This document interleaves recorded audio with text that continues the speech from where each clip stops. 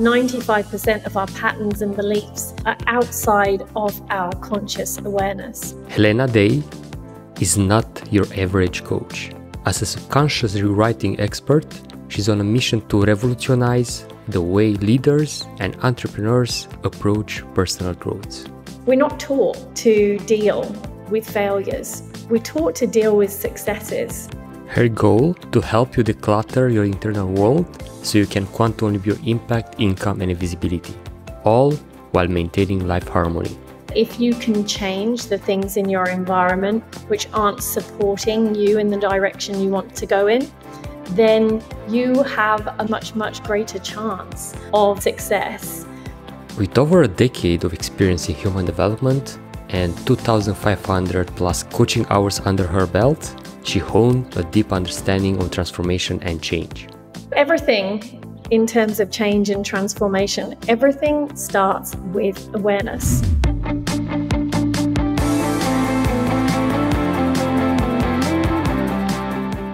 Hey, I'm your host, Gabe Marusca with the Masterpreneur Show. Quick one before the episode starts. About 80% of you watching, you didn't hit that follow or subscribe button. If you get any value from this, if the stories we share and the learnings that you get from my guests help you or your business in any way, can you please do me a favor and hit that follow or subscribe button? It helps the show more than you can even imagine. And the bigger the show gets, the better the guest gets. Thank you so much and enjoy the episode. Helena, most of us, especially in business setting, we blame our failures due to external factors. Why is that? Yeah, that's such an interesting question. My work is predominantly with entrepreneurs and high performing professionals, helping them really get an understanding of what's going on in their businesses, what's working, what isn't, what the challenges are.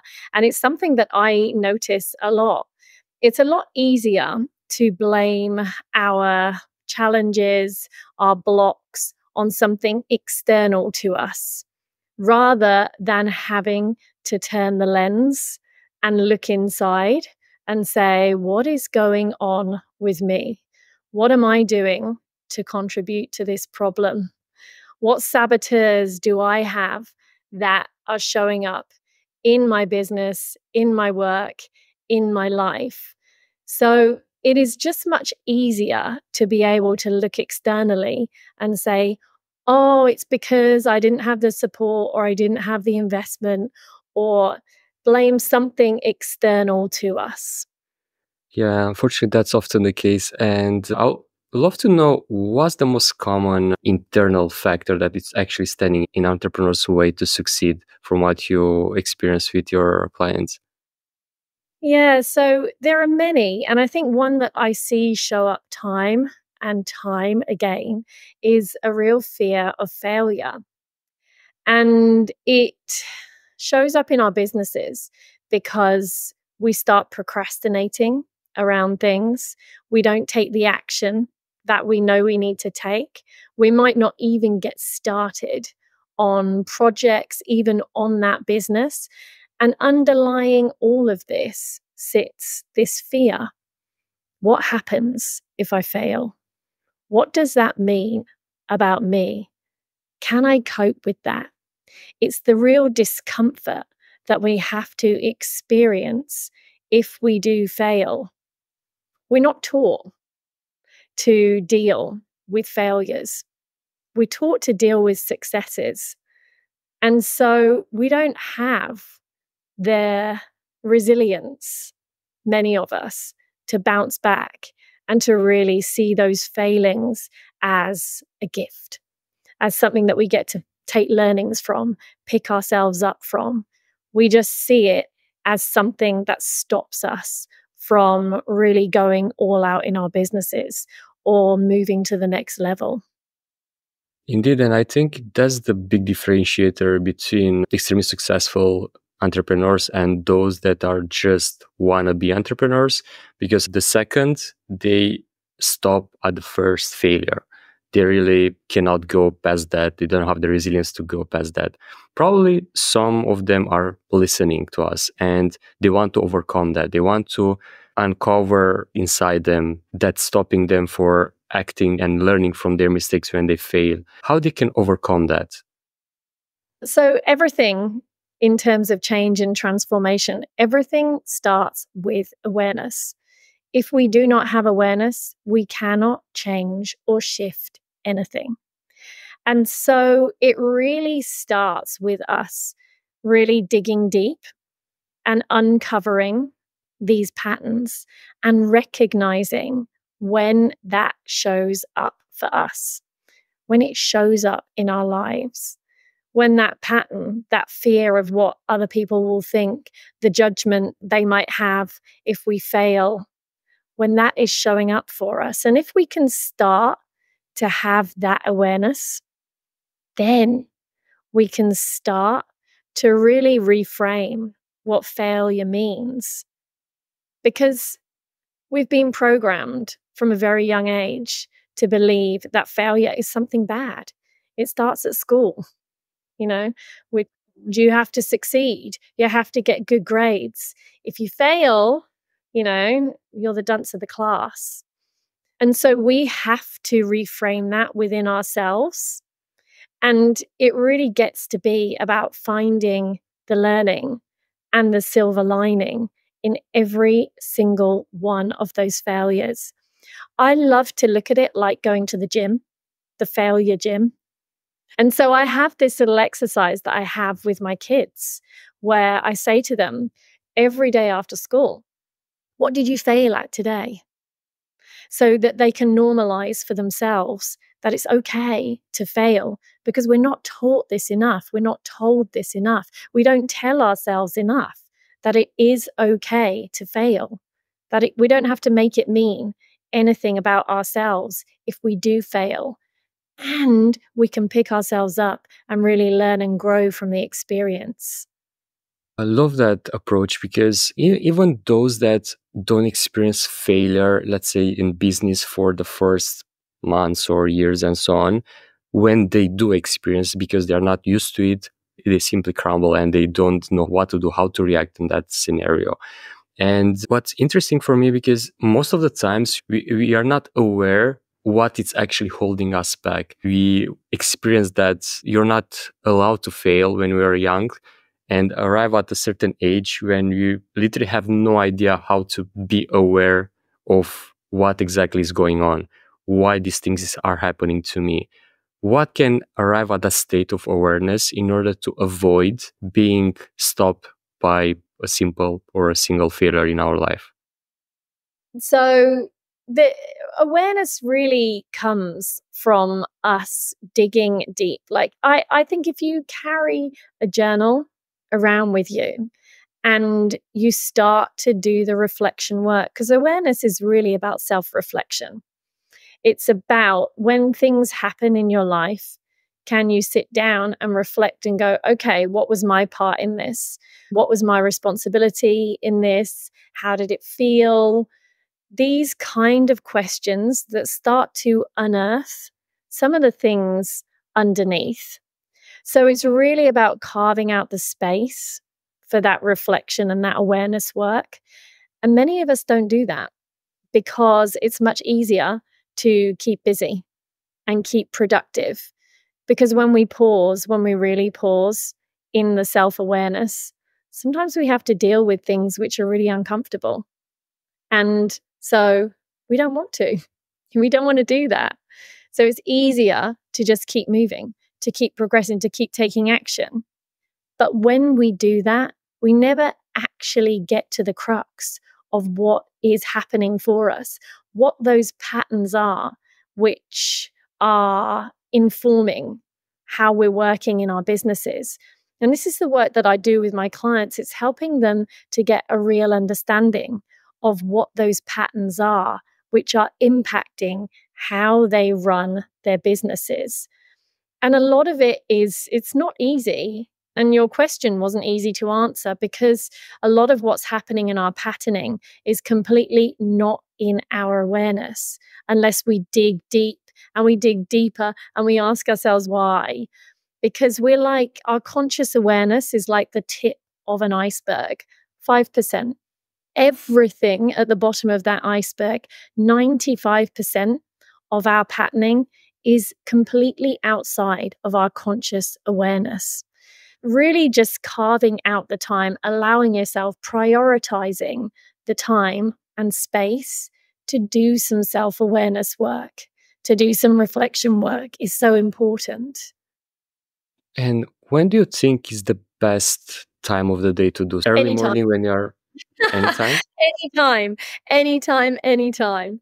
Honestly. Because I, I'm asking because I try a couple of times to do, for example, in the evening when let's say a day didn't work out the way I planned or a day that's let's say by today's standards it was a failure and sometimes it work well in the sense that i have all the information from that day and i can be aware of the things that i was doing the way i should do it and the things that i was doing wrong and so on. But in the same time because the day went quite badly i didn't have the mental energy to actually dive deep into those things.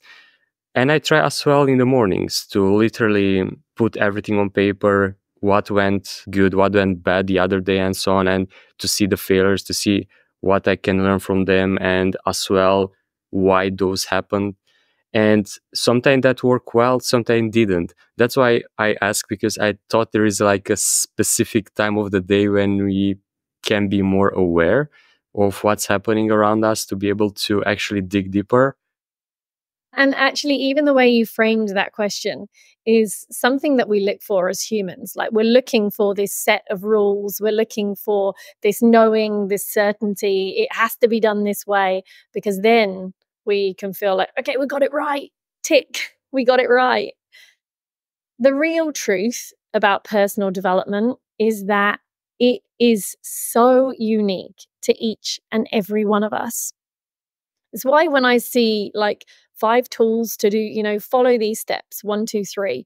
Sometimes I wonder because we're all so different and unique inside what works for one person in the morning, their morning reflection. I have clients that do what they call the morning pages, where they sit down and they literally brain dump before they start their day.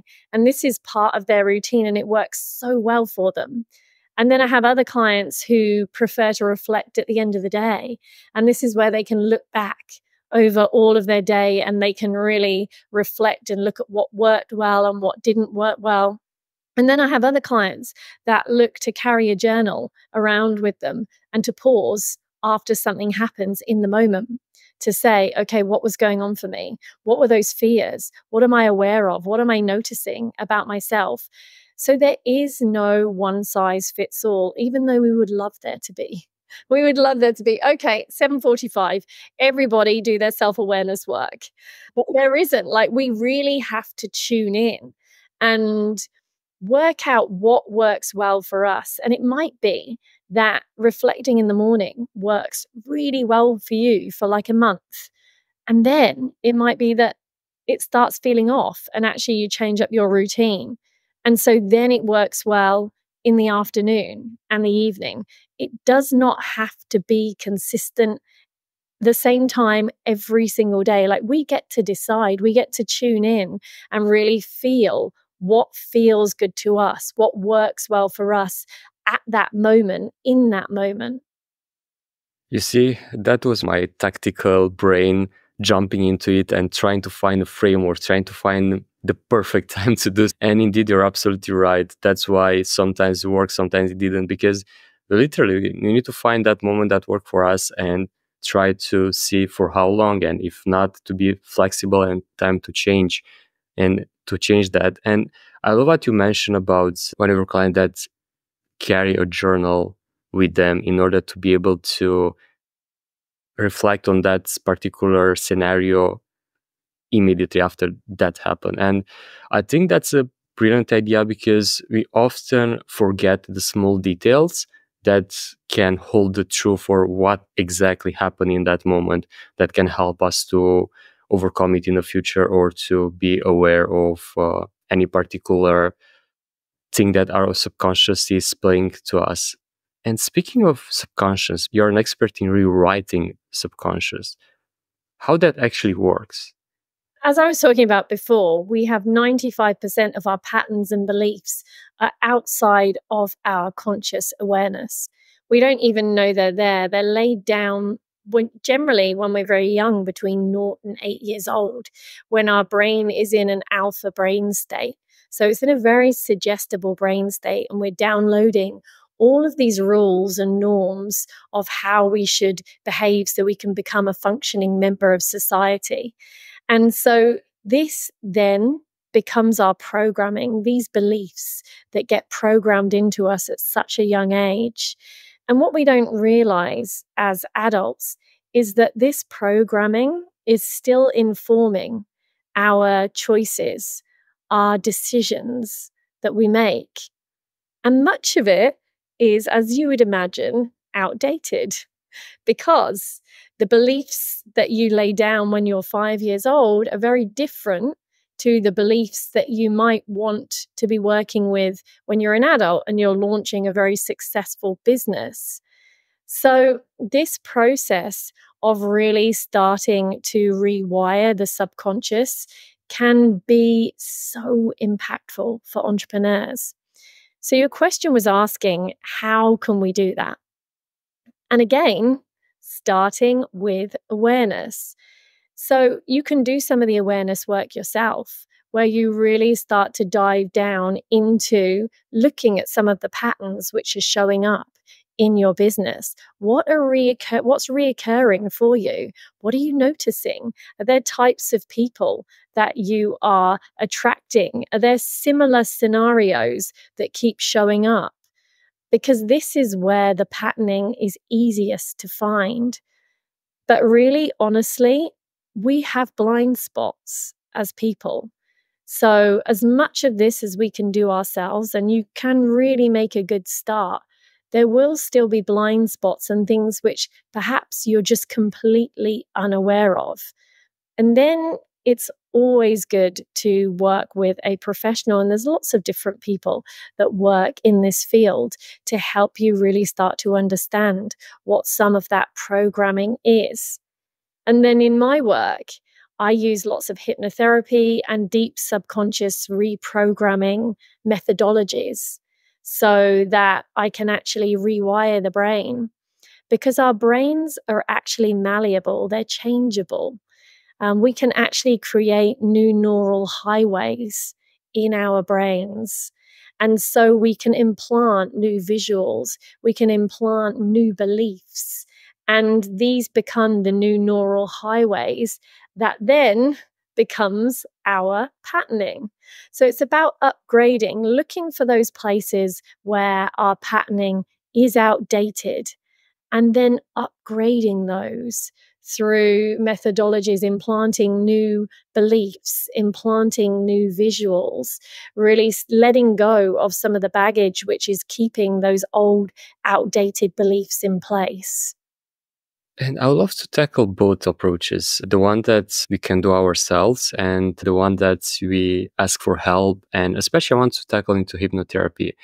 But before I want to discuss about the work that we can do alone to do so, let's say someone that is listening identify a pattern in attracting the wrong clients, the clients that are draining that are done, not paying them their worth and so on. And they identified the same type of clients are coming to their worlds.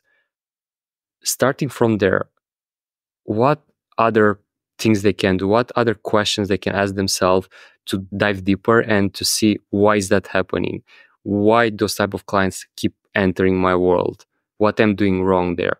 And so you used one of the words, you used a word there, which is so potent, which is why.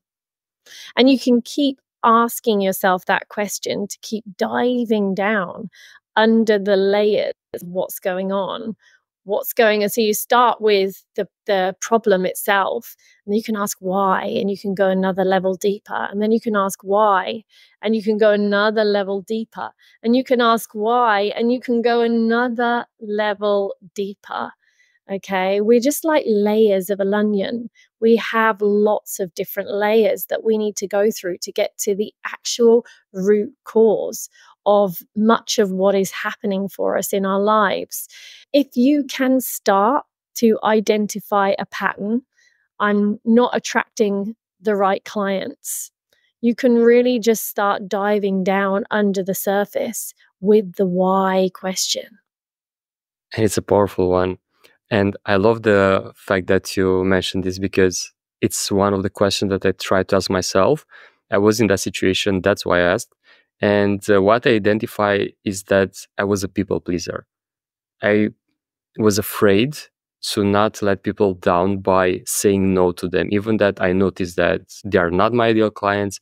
I envision that there will be a problematic project and I'll be frustrated because instead of focusing on the other type of projects, I'll be losing a lot of time with them and so on. And by keep on asking those questions, I was noticing that I ignore red flags. I ignore my own gut feeling that I should say no to that particular project and so on. And yeah, it's in our own control to do so. But let's say we go to the other pattern of hypnotherapy. We arrive at the point where no matter what type of self reflection we do or self work, we are not able to change something and we are continue to go on the same treadmill that and we don't find an answer to anything how hypnotherapy works and what are the benefits yeah, so there's lots of different types of hypnotherapy. I use my own signature process and methodology. And so, say we were to use the people pleaser pattern which you discovered in yourself. We can make these discoveries through our awareness and our self reflection. And that's really fantastic to have that awareness of how we show up and maybe some of the archetypes which are in our system, which we are presenting to the world, which are powerful for us. And then we really in hypnotherapy we really dive down i in my process into the why into finding those core events and situations that have shaped what the people pleaser became so dominant in your system. What was it that happened in your life that caused this to be one of your predominant characteristics and then we can go and do some deep healing and transformational work around this and implant new visuals and new understandings around the fact that, for example, with the people pleaser, you can be really sure of your own value. You can have a rock solid value. You cannot need to look outside of yourself for other people's approval or recognition. So we can really start to rewire that with a people pleaser, there's often a lot of fear of letting people down and disappointing people. So we can really start in hypnotherapy to start healing some of that fear of what happens if I disappoint somebody, what happens if I let them down. There's a lot of it which often goes back to childhood and the um, relationship that we had in our families with our parents as well.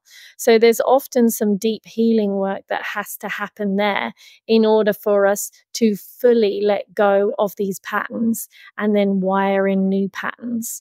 And the way I use hypnotherapy is to provide the entrepreneurs I work with dedicated recordings, which they listen to daily after our sessions, which really wire in these new visuals and beliefs so that every single day they're reconnecting with a vision for where they want to go, for what they want to bring to life, to for what they want to create. First time when I was interacting with this visualization part, not sure if you remember because it's quite an old movie. I think it, uh, it's called The Secret, if I'm not mistaken. I think their dimensionalization, and I was like, you can actually try to rewrite the way you are thinking, the way you are viewing life, and by visualizing a different one. And it worked fantastically well. I tried by myself, but when you do every ever after every session, they get a recording in which they start listening to it, they imagine the new things, the new life, the new way of being. I think that's really powerful, especially because any habit can be life changing and can be pattern changing if you want. And when you notice the change start to happen after you start working with your clients, when they see a real change in their business and life? Ah, that's such an interesting question and one that everybody wants to know when. And it is again, I'm going to say it is so dependent on the individual. It depends on how deep the patterns are that they're working with, how many patterns that we are transforming. It depends how easy those patterns are to rewire. It depends if they're connected to some deeply embedded trauma. If there's a lot of work to do, taking you right back to healing with family and parents and informing some of those patterns today. So there is no one answer I can give you. For some people, change can be instantaneous they can leave a session and they can feel like they have dropped a weight, that their life feels completely different. And for others, it's a longer process where they're really, there's little nuances which they're noticing. And when they look back, they're like, oh my goodness, I don't do this anymore. I often think with change, we don't notice it a lot of the time when it's happening. It's like when we're growing, we don't notice that we're growing in height. Like my kids don't know that they're, you know, growing an extra centimeter. It just happens. And often I find that this is the same with change. It's when we look back and we go, you know, for example, if we're talking about height, we say, oh my gosh, this doesn't fit anymore. How is that?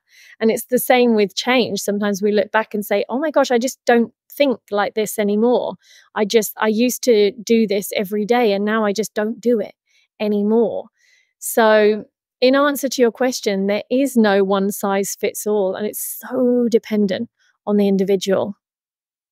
Yeah, true. And one thing that I noticed that worked tremendously well for me, and I would like to ask you as well how that changed your life, is by changing my environment. Since I became a nomad five years ago, by changing my environment, not spending time with the same people, change a lot the way I see the world, the way I act, the way I behave, and so on. And since you live in London, Amsterdam, now in Bali, how the environment change shape who you are today and how people can change their life by changing their environment? Yeah, there's a wonderful quote. You can't send a changed person back into an unchanged environment because the changes just don't stick. Now, I've not found that to be my experience, but what I know for sure is that if you can change the things in your environment which aren't supporting you in the direction you want to go in, then you have a much, much greater chance of success. Something you actually mentioned was really interesting. You talked about changing up the people who you were surrounding yourself with. And that is powerful.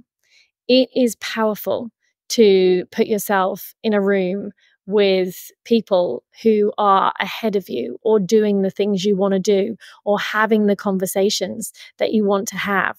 It's, I think it was Tony, I don't know if it was Tony Robbins, but somebody who said you are the sum of the five people that you spend the most time with. And so when we're talking about environment, there's lots of things that sometimes we cannot change. Sometimes we can't change our location where we're living. But what we can do is what you did, which is to really have an assessment of who we're spending our time with and get really honest with ourselves about are they adding to my life experience or are they taking away from it? And that can be hard to make those shifts and make those changes and have those honest conversations with ourselves where we really say, okay, are these people adding? I'm actually going to have to shift them. If they're not, I'm going to have to make some significant changes if the people that I have surrounded myself with are not really helping me move in the direction that I want to move in. And what a beautiful opportunity. Because when we really do shift up those people and start having the conversations and the powerful conversations that we need to have, then voila, like you say, our environment can really be a support and can accelerate the change process. Absolutely. And funny enough, this podcast it's also one of the tools that I use to change my environment by talking with people like you that are far away in life in different area of business or the way they think it's such a powerful way to be surrounded by individuals that you can learn from and you can understand how they're seeing life and so on. Sometimes, yeah, it might be hard to find your tribe in the place that you live. But we are living in a world where we, we are at the seconds away from anyone. Like we literally can build your tribe online and find the people that you resonate with, that you can learn from. And yeah, you should never be the smartest person in the room. That's for sure. Because otherwise it's so hard to improve, so hard to learn something new. You mentioned one thing about failure. I'm not a parent, but I know a lot of my friends that are parents and they experience different type of challenges especially nowadays when technology is everywhere and so on. How do you make sure your kids grow up the right way let's say? Because there is a right way. You take them to bali. Everyone move to bali and send their children to jungle school like i do. Um, no, really, honestly, we, we did move here specifically for the school and for the experience that our children would be able to have here. And I'm totally appreciative of the fact that this is not available for everybody and it may not be everybody's it may not be what everybody else wants to do so the first thing i would say is there is absolutely no right way and there are no perfect parents we are all muddling through it trying to work our best like how this all works how do we manage these little souls that have shown up in our lives because our job really is as a guide and a teacher, being a parent. And so I think a lot of when it comes to parenting for me, and you know, I'm not a parenting guru. All I know is that I have two children and I coach adults and I coach my children a lot as well. But it's about really letting go of control, a lot of control that we need to have over these beautiful little souls in our lives and allowing them to really be who they are and allowing them to flourish with all of their gifts. And what I find in my work with entrepreneurs is that every, we're interconnected. We think we live lives, we actually live patterns. And the entrepreneurs that I work with who are parents come to me not because of parenting, they come to me to up level their businesses. And actually, all of the work that we do has ripple effects across their parenting because they're building their self awareness and reflection muscle, because they're learning about their patterns, they're learning about their triggers, they're learning about all the things that are coming up in their relationship with their children. And so they're able to just be much more aware and understanding and then make different choices. You know, everything is interconnected. Business and our family life is intimately interconnected. Yes, indeed. And we often don't realize that we think we have a business problem, and if we can solve this, everything else will fall into place. And while that's the case, is because you do the groundwork that affects every single thing in your life.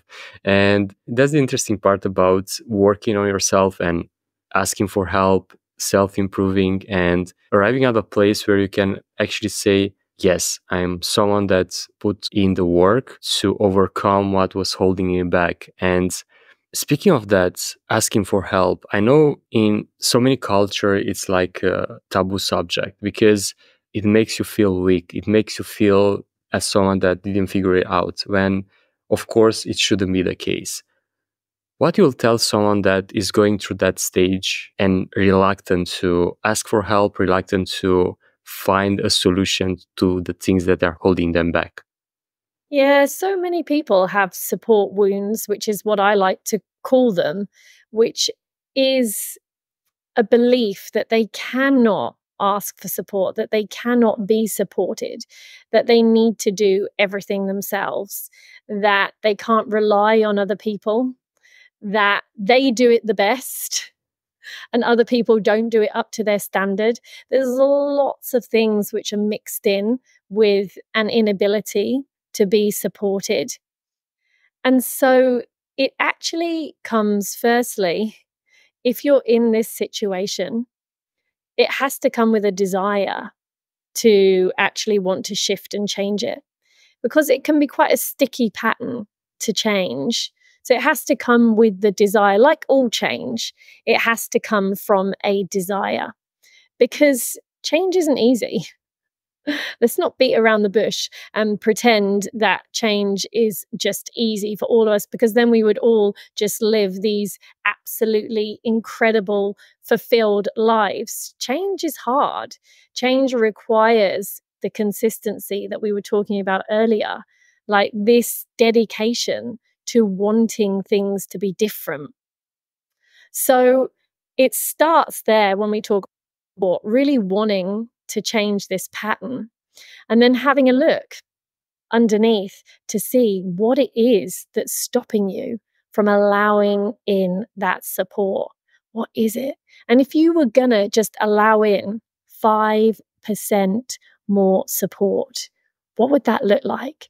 Who's the one person in your life that wants to support you that you have not been allowing to support you. And that could be in your personal life, in your professional life. Who is that person that you can start practicing with and start building up your support muscle? Because what generally happens with support is that we don't trust other people. So we have to start building up this trust in other people. And so that 5% and just allowing that one person in your life who has been there waiting to offer you some support, allowing them to do that just starts the process. That's really powerful. And sharing from my own life experience, it was about six or seven years ago when I finally let go of that fear and that pre programming of I have to do everything myself, I'm the best at what I do, and so on. And when I made that shift and finally asking for help, everything changed business wise because I was allowing myself to work on the business, not only inside the business. I was allowing myself to see things from a different perspective. I zoom out and I was able to see what's working and what not while having support in different area of my business. And even if I am a solopreneur, I don't have full-time employees and so on, I work with a lot of contractors and outsource a lot. And that part allows me to do a better work for my clients. That before I was just a freelancing that freelancer that I was having certain amount of time to work on, certain amount of skills, and that was it. And allowing ourselves to see that first of all, we are never the best at what we do. There's always someone better than us. And second, to be able to actually have that power to, as you mentioned, to build that help muscle, to build that ask for help, even a habit, because you don't have to walk around and help me to everyone, but to identify the things that you can get help with in your life is such a powerful skill, especially if you're an entrepreneur. I 100% agree. And usually, what happens is people get to this point where there is so much pain and they're in so much overwhelm and there is so much stress, and maybe they've had a burnout or they're heading for burnout. But you don't have to wait until you get to that point in order to start building your support muscle. You can do it at any time. In fact, it's better to do it when you haven't had a burnout then you may never get there. So, really starting to allow yourself, allow in support, allow other people to support you so that you can really have more time if that's what you want in your life. You can have a bit more time freedom. You can have a bit more flexibility because that's what support allows us generally. It allows us to do more of the things that we really want to do or to grow our businesses at a much faster pace than we would be able to if we were just doing it alone. Yes, indeed. And speaking of asking for help, if someone is listening and they want to work with you and connect with you, what will be the easiest way for them to get in touch? You can head over to my website, which is helenaday.com and you or you can look me up on Instagram, Helena at helenaroseday.com. Perfect. And I'll put the links in the show notes as well. And I love to wrap up by giving those listening a small challenge. Something that can finish in less than one week in order to walk this path of getting help. Is there any self reflection or any exercise they can do in order to uncover the things that they need help with? Or what will be your challenge for them? You know what? I just, we've talked about it, and I would really, first of all, ask yourself the question what would it look like in your life if you allowed in just 5% more support? What would shift? What would change? Ask yourself that as a reflection question. And then I would have a look and get really honest with yourself and look for the one person in your life that has been offering or wanting to give you more support and allow them to give you that support and see how it feels. Notice what happens for you when you allow in that support. Notice what shifts and what changes. That's really powerful because we, more often than none, we have those person in our lives that they are willing to help, they are willing to support us, but we don't allow them. We are stubborn. We can do everything. We don't need help. We, we are powerful. And even especially men that are listening that are in that position that we as the powerful sex, we have to be the strongest and so on. And we don't need to reveal our flaws or our imperfections. That's so wrong. And just get the help that we need to move forward. Beautiful. Thank you so much, Elena, for joining us today. It was a wonderful conversation from which me personally, I took a lot of notes and a lot of things that I want to start applying. And hopefully, those listening took the same. They took a pen and paper and actually took some notes. Beautiful. And then they can use their notes to do their self reflection underneath. You, yes, you. You're one of the few that stick to the end and I want to thank you from the bottom of my heart for doing so. If you haven't subscribed already, please do so below. And if you got any value from this, please share it with a friend. They might got some value from it as well. Thank you so much, and until next week, pura vida!